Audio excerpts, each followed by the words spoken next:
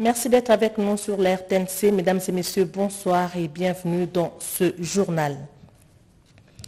La situation sécuritaire dans la province de Litouri, sujet au cœur du point de presse organisé par les gouverneurs militaires, Johnny Luboya a échangé avec les journalistes de Litouri sur le bien fondé de l'état de siège et d'autres questions de l'heure sur la sécurité dans cette partie du pays. Junior Selemani pour les détails. 4 janvier 1959, les déclics de la conquête de l'indépendance, c'est une année et demie après que le Congo belge accédera à la souveraineté nationale et internationale. 64 ans aujourd'hui, les souvenirs de Congolais restent toujours intacts face à cette date historique car le pouvoir colonial a dû... Mesdames et messieurs, bonsoir et bienvenue dans ce journal. Je disais la situation sécuritaire dans la province de Litouré, sujet au cœur du point de presse organisé par le gouverneur militaire. Johnny Luboya a échangé avec les journalistes de Litouré sur le bien fondé de l'état de siège et d'autres questions de l'heure sur la sécurité. Signé Junior. Je disais la situation sécuritaire dans la province de Litouré, sujet au cœur du point de presse organisé par le gouverneur militaire Johnny Luboya échangé avec les journalistes de Litouré sur le bien fondé de l'état de siège et d'autres questions de l'air. Un reportage signé Junior Selemani. Place à présent aux réalisations dans différents secteurs de la vie, comme un bon dirigeant redevable envers sa population. Le gouverneur militaire de l'Uturi s'est livré à cet exercice jeudi face à la presse, de la sécurité au développement, en passant par la culture de la paix. Toutes les questions liées à la vie de la province ont été balayées. De revers de la main, cette tête à tête avec le chevalier de la plume était également une occasion pour le lieutenant général Luboyanka Johnny d'inviter la population de l'Ituri à barrer la route à une prétendue présence de M23 qui cherche à s'installer dans cette province en phase de stabilisation. Par cette occasion, interpeller les Ituri, interpeller les communautés. Je compte sur la loyauté des populations, sur les communautés, sur la confiance. Je sais que cette population a beaucoup souffert. Je sais que cette population a besoin de la paix. Et je sais que tous ces manipulateurs n'arriveront pas, n'arriveront pas à créer l'insécurité ici. Plus d'insécurité ou de violence qu'on en a eu. J'en appelle à la population étourienne. Faites très attention. Tous ces gens-là qui vont vous promettre des choses et qui vont, n'est-ce pas, vouloir ramener ce groupe-là ici. N'acceptez pas ça. N'acceptez pas ça. Pour immortaliser et consolider la collaboration avec l'administration militaire, une photo de famille a clôturé cette conférence de presse. Le quartier Matadimayo dans la commune de Ngalema est menacé par une érosion des maisons sont englouties, des routes coupées si on ne fait rien. C'est tout un quartier qui risque d'être rayé de la carte de la ville de Kinshasa. David Moubenga signe ce reportage. D'érosion menace dangereusement le quartier Matadimayo dans la commune de conséquence des pluies qui se sont abattues ces derniers temps à Kinshasa. Si l'on ne prend garde, le quartier Matadimayo risque de disparaître de la carte géographique de la ville de Kinshasa et causer des sérieux sinistres sur la population. Voilà pourquoi la population de ce coin de la capitale lance un cri d'alarme aux autorités du pays et celles de la ville de Kinshasa en particulier, un SOS à l'endroit des hommes de bonne volonté afin de venir à leur secours. Comme conséquence, il n'y a plus d'eau. Comme conséquence, il n'y a pas moyen de s'approvisionner en denrées alimentaires. Vous l'avez vu vous-même, les prix ont haussé parce que les commerçants ne peuvent pas acheminer les marchandises. Comme conséquence, il y a des maladies d'origine hydrique parce qu'il n'y a pas d'eau. C'est une situation qui s'aggrave au jour, le jour lorsqu'il pleut. Le fossé s'est agrandi et la population est totalement enclavée. Il y a une grande différence entre Matadi Mayo et Matadi Kibala. Ce sont deux quartiers différents, mais chaque fois qu'il y a des problèmes, on nous confond avec Matadi Kibala. Tout ce qu'on apporte comme soutien, comme appui, ça se, limite au niveau de Matadi, Matadi Kibala. Et pourtant, Matadi Mayo a une population de plus de 40 000 habitants. On a perdu de maisons, on a perdu de vies humaines. Plus de 10 personnes sont décédées ici. Nous lançons un appel pathétique au gouvernement Sam, au président de la République, au gouverneur, à tout le monde, pour qu'ils puissent nous venir en aide. Menace de grève au sein de la CPT, ex-ONATRA, le ministre intérimaire des Transports, Voies des Communications et des Désenclavements, Marc Equila, a échangé avec une délégation syndicale de la dite société et les a exhortés à unir des efforts pour un nouveau visage de ces géants dans le secteur des transports. Jean-Richard Poilet, reportage. Le ministre AI des Transports, Voies de Communication et des Désenclavements, Marc Ekila Likombo, a échangé avec la délégation syndicale nationale de la Société commerciale des transports et des ports SCTP. Ce, au sujet de la grève qui couvre à cette société, sollicitant l'implication personnelle du ministre de tutelle pour obtenir la libération de la création auprès de son collègue des finances, la délégation syndicale a également appelé les agents et cadres de la SCTP au calme et à la retenue contre toute tentative de déstabilisation. Pour sa part, Armand Ossassé, président de la délégation syndicale, s'est dit rassuré par le ministre qui prône le dialogue social face aux menaces incessantes de grève au sein de la SCTP ex-Sonatra. Son Excellence a pris toutes ces revendications et il nous a rassuré l'implication rapide du gouvernement pour trouver des solutions.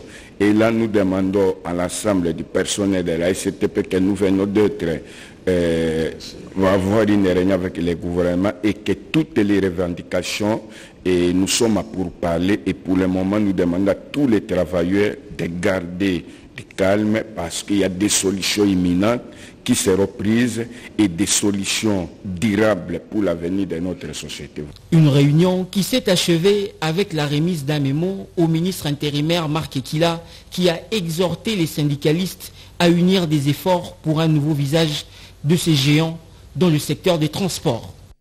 Certains sinistrés ont passé les festivités de fin d'année à la Belle Étoile. Les sinistrés de dernière pluie diluvienne dans la commune de Ngalema ont reçu une assistance de la Croix-Rouge et d'autres partenaires. Une cérémonie en présence du bourgmestre de Ngalema. Un reportage signé Cédric Kenina. Ils n'ont pas été oubliés après avoir vécu un drame qui reste encore dans la mémoire collective.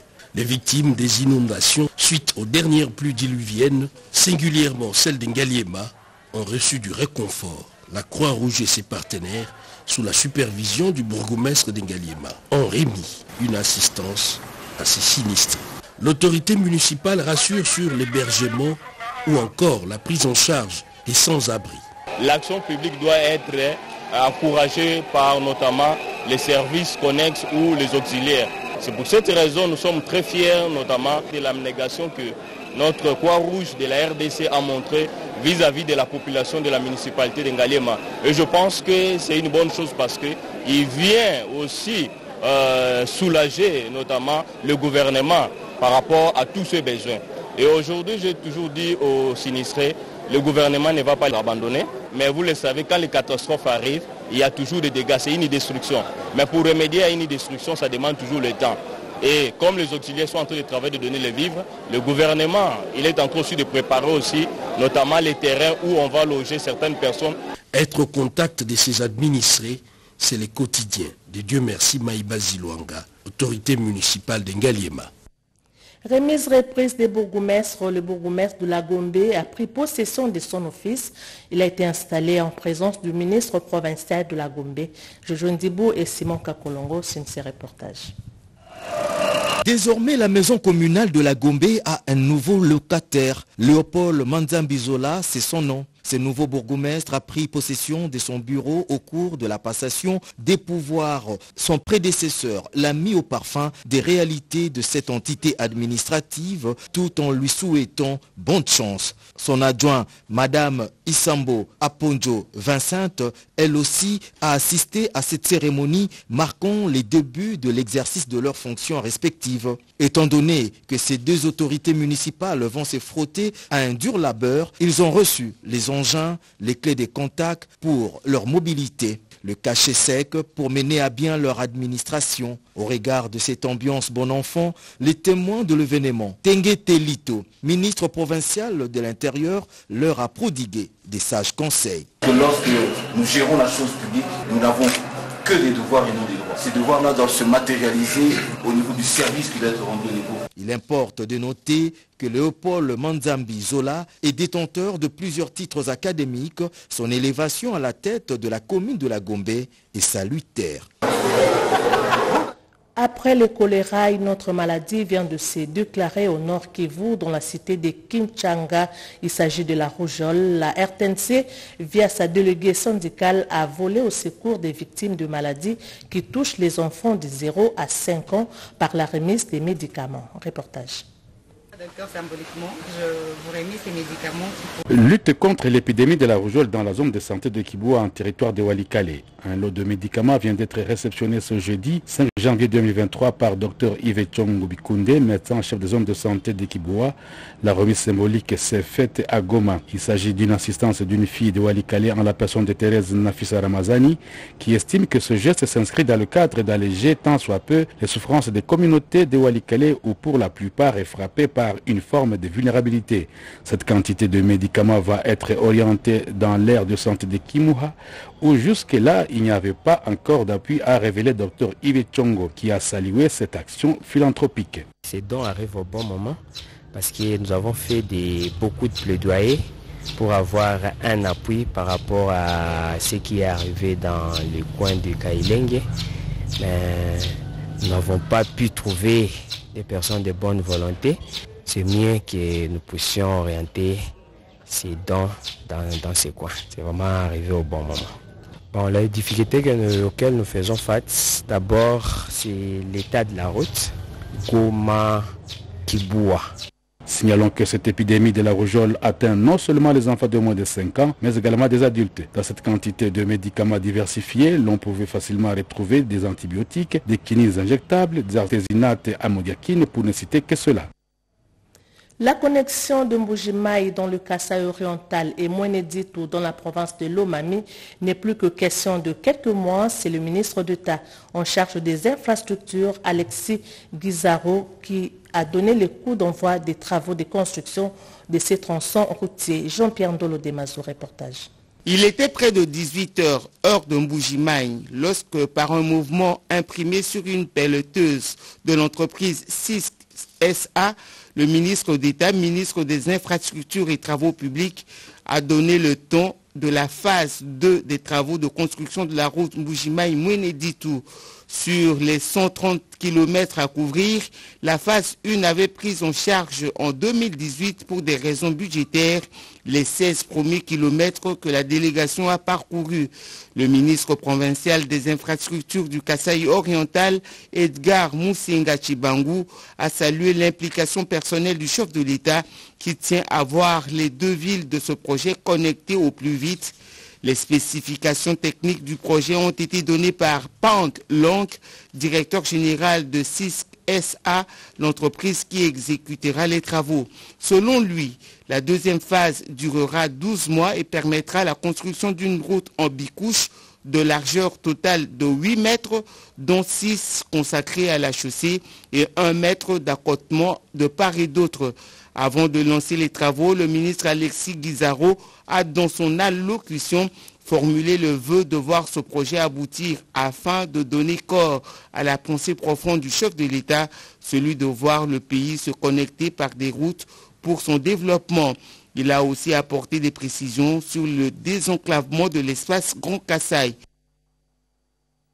La ville de Chibwe, Mwabi, Kande et Kabeakamwanga dans le Kassai oriental seront très prochainement électrifier les travaux d'installation d'une nouvelle ligne électrique dont ces points sont déjà réalisés à 70%. Un commentaire d'Éric Kabamba. L'électricité 24 heures sur 24 dans certains coins de la province du Casse oriental, bientôt une réalité. Une nouvelle ligne électrique qui va éclairer la ville de Chiboué, Mwabi, Katende, Kabeyakamwanga est en pleine installation. Ce projet est réalisé par la société Sogeac. Venu de Kinshasa, un ingénieur de cette entreprise, Rachidi Kungulu, est descendu sur les lieux pour se rendre compte de l'évolution des travaux. Travaux réalisés déjà à plus de 70% selon les explications lui fournies. Nous avons un poste ici à Chibou, le poste où nous allons soutirer le courant de, de l'assassin et ramener maintenant vers un autre poste. D'ici les mois de juillet, cette nouvelle ligne sera opérationnelle, a affirmé le directeur provincial de l'ASNEL. C'est par ici que nous allons commencer le soutirage de la ligne de, de Sassim pour alimenter euh, la ville d'Emboujimaï à travers euh, la sous-station de Bipemba. L'acheminement de matériel en temps réel demeure la grande difficulté. Dans la politique de l'entreprise, nous avons voulu euh, jouer grandement avec la main-d'œuvre locale. Ils sont là, le salaire profite déjà sur ces points-là. Signalons que Sogeac, cette firme de Ahmad Izam, qui a déjà fait preuve de son expertise dans plusieurs domaines, a préfinancé ces projets à 50% sans taux d'intérêt. Collation de grade, on en parle dans ce journal. L'université protestante au cœur du Congo a largué pour la première session de l'année académique 2021-2022 plus de 120 diplômés de graduats et de licences sur le marché de l'emploi. Suivez. L'université protestante au cœur du Congo IPCC a largué sur le marché d'emploi pour la première session 129 lauréats ressortissants des huit facultés qui l'organisent. C'était à l'occasion des collations des grades et des clôtures de l'année académique 2021-2022. La cérémonie a été présidée au nom du gouverneur de province par le ministre provincial de l'Éducation Denis Kapiamba Tcheyeya en présence du président provincial de l'ECC Kasaï Oriental, Monseigneur Sylvain Lounyanyankole, des recteurs et directeurs généraux des institutions universitaires installées en Boujimaï dans son discours académique, le secrétaire général, professeur Pierre Ntita, a confirmé qu'au cours de cette année académique qui se clôture ces jours, les cours ont été dispensés dans le strict respect du calendrier académique avant de demander aux lauréats d'être véritablement des ambassadeurs de l'IPCC et de contribuer efficacement au développement de la RDC. Le recteur Dieudonné Mbaya Chakani, dans son discours programme, a retenu trois grandes lignes dans ce projet ambitieux. Nous pensons que le fait d'être enclavé comme notre ville, nous avons besoin d'avoir de la technologie pour couper les distances. Avant de déclarer close l'année académique 2021-2022 à l'UPCC, le ministre provincial de l'Éducation a remercié les comités de gestion de cette université pour sa collaboration. Cette manifestation s'est clôturée par la remise des diplômes aux lauréats des années antérieures, diplômes signés par le ministre de l'Enseignement supérieur et universitaire. Dans son rôle régalien de reconnaître les mérites des compatriotes congolais qui excellent dans les différents secteurs, la maison Choms Production a décerné des prix de mérite à quelques responsables de la division provinciale du Kananga. Un commentaire d'Emira Ndeke.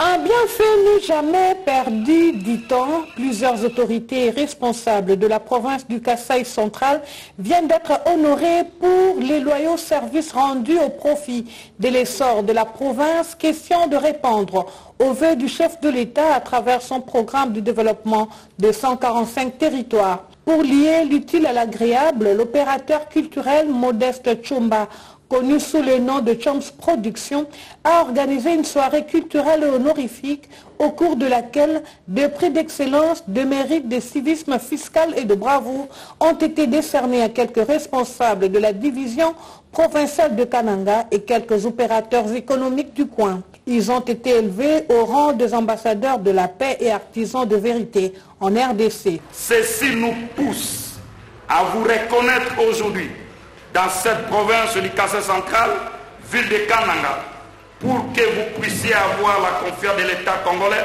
Nous vous demandons d'avoir la confiance dans ce dit État. Par la même occasion, Chomps Production a sensibilisé l'assistance au civisme fiscal. Il a ainsi appelé la population à payer les taxes et les impôts pour maximiser le caisse de l'État afin de développer le GTD. La dite cérémonie a été précédée d'une caravane motorisée pour annoncer les dix événements. Présent au culte de la borne à Mbandaka, maître Freddy Lacombo, encadreur des jeunes, a profité de l'occasion pour appeler les chrétiens à s'enrôler massivement. Une mission de sensibilisation que s'est donnée ce notable Mbandake. Un reportage signé Edith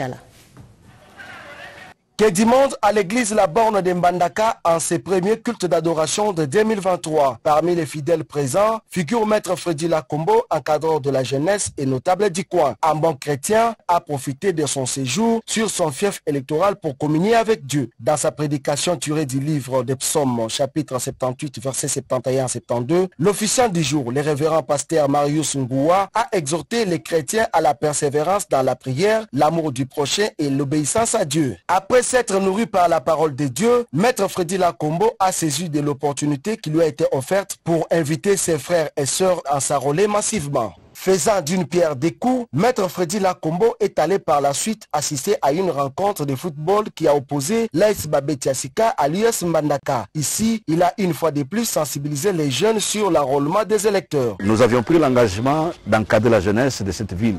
Dans un premier temps, nous avons commencé avec le football.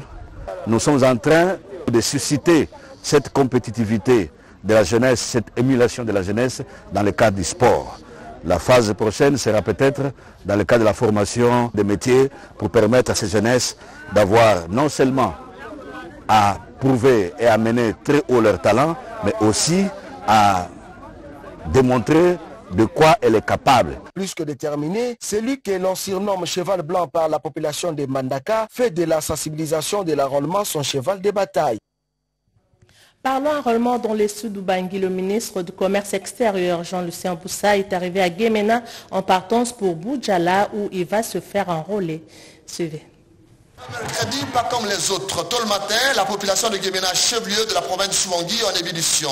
Toutes les couches confondues, hommes, femmes, jeunes et vieux, même les personnes vivant avec handicap, les partis politiques n'en parlons pas, ont pris d'assaut l'aéroport de Guémena pour aller réserver un accueil digne de son rang à ce fils du Souvangui élevé en dignité. Il s'agit de son excellence Jean-Lucien Boussatoba Mabekema Soa, ministre du Commerce extérieur et autorité morale du parti politique courant des démocrates rénovateurs qui est arrivé à bord d'un jet privé de la compagnie d'aviation Aeronautica SGL qui s'est posé sur le tarmac à 12h29 minutes.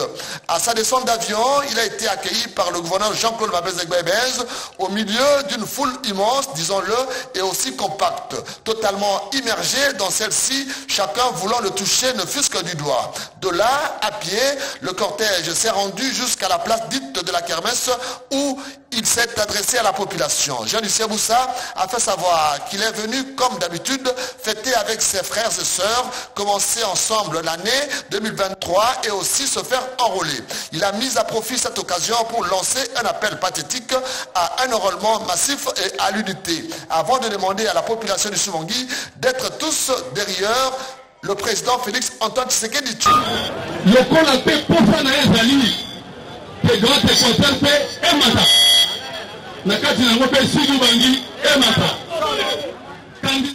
Enrôlement, une fois de plus, la population de la Tchango a été sensibilisée. Images et commentaires. Question de se plaindre pour la mauvaise gestion du pays, l'heure est au choix de nouveaux dirigeants. Il faut s'enrôler pour donner sa voix à celui qui veut gérer la chose publique.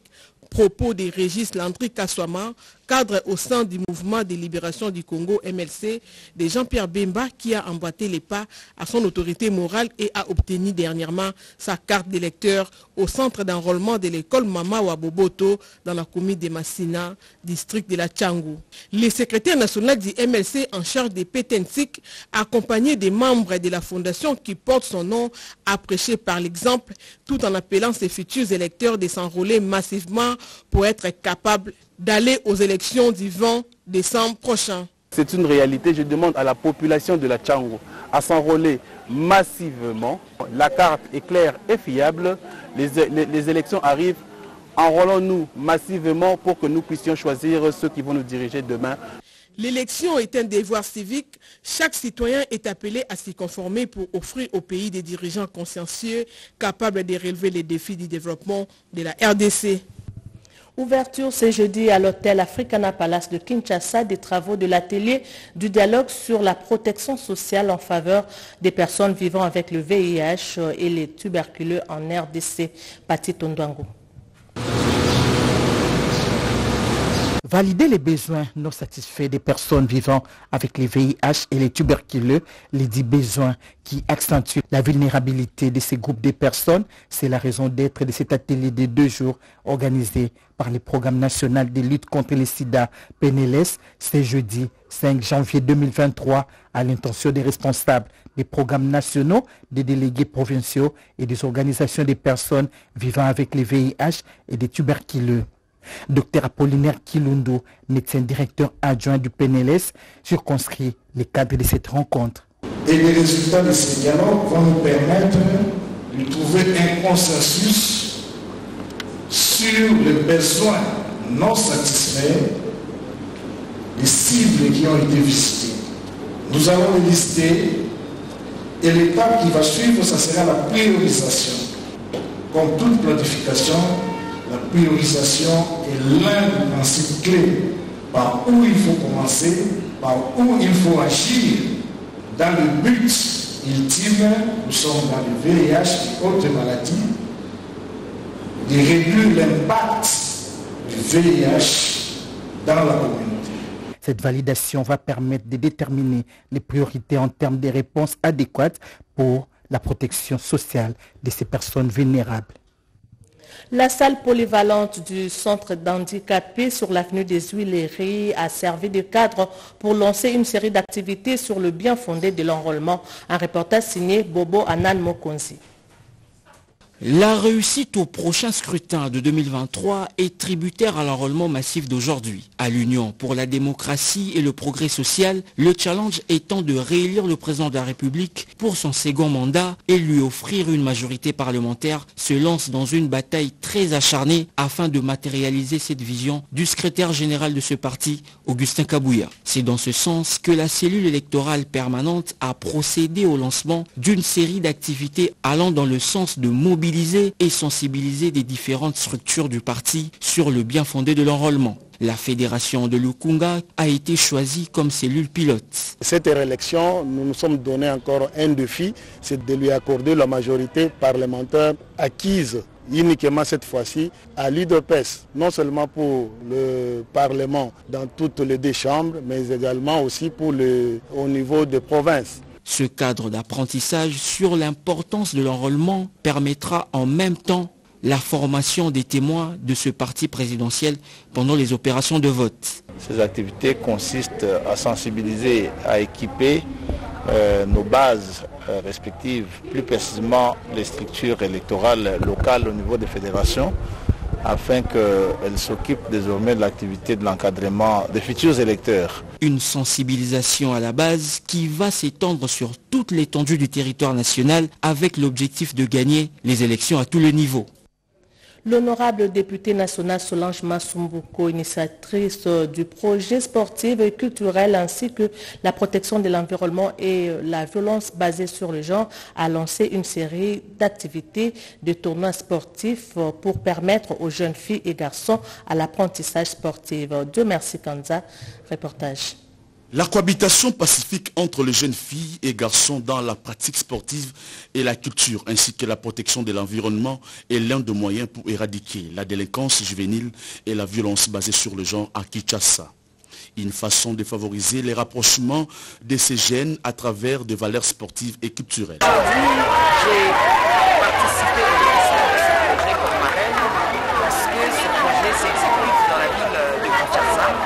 les préparatifs des activités de l'apprentissage en lançant ce projet un sport qui valorise le monde. C'est une très bonne chose parce que ça permet non seulement d'occuper les jeunes filles, vous voyez, elles sont nombreuses,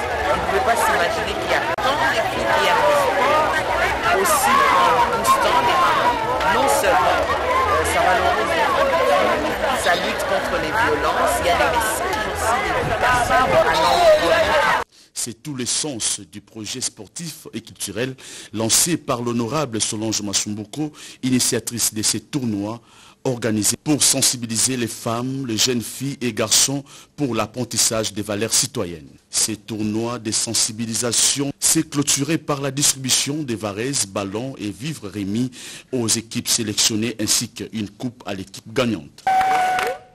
Une matinée prophétique pour ces souvenirs de martyrs du 4 janvier. La ministre de la Formation professionnelle, Antoinette Kipoulou Kabenga, a assisté à ce moment spirituel qui rentre dans le cadre de l'éveil patriotique.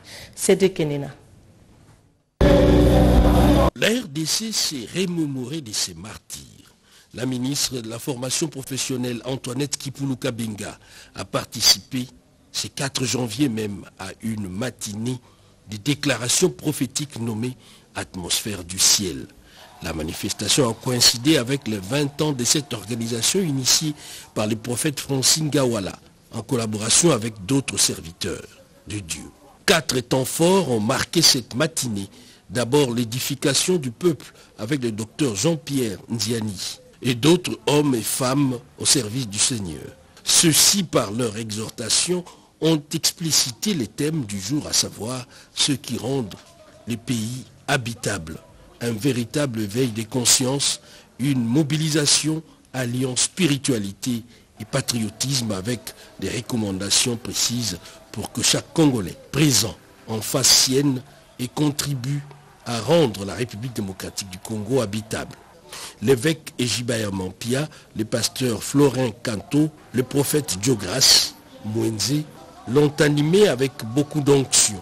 Par ailleurs, la louange et l'adoration étaient assurées par une chorale de la place ainsi que par le frère Jonathan Mungongwa, à la grande satisfaction de tout le peuple de Dieu qui avait fait les déplacements de la cathédrale du centenaire protestant.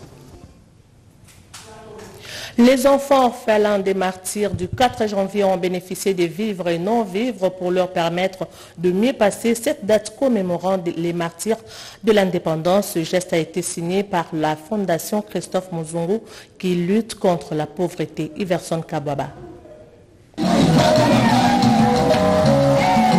Les orphelins des martyrs du 4 janvier ont bénéficié d'un don de vivres composé de cartons de poulet, sacs de riz, sachets de jus et autres. Une façon de permettre à ces orphelins, veuves et de mini de passer le bon moment à l'occasion de la journée du 4 janvier, journée commémorant les martyrs de l'indépendance. Ce geste de solidarité témoigne la volonté de la Fondation Christophe Muzungu qui lutte contre la pauvreté et tient l'encadrement des délaissés en leur apportant soutien et réconfort.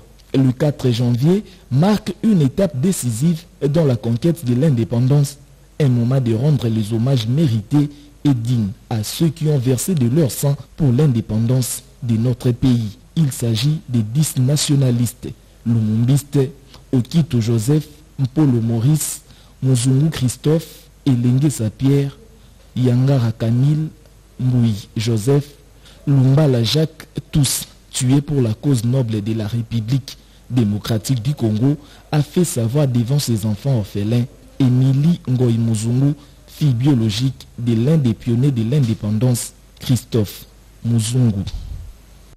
Nous avons une nouvelle, les forces vives de l'Équateur remercient les chefs de l'État de la tenue de la conférence des gouverneurs à Mbandaka. Ensemble, ils plaident pour une participation des natifs de l'Équateur dans les gouvernements central. Fin de ce journal qui a connu le concours rédactionnel de Iverson Kababa. Merci à vous, mesdames et messieurs, de l'avoir suivi. Le prochain rendez-vous avec l'actualité, c'est tout à l'heure à 20h avec Sandra Nyangui. Merci et au revoir.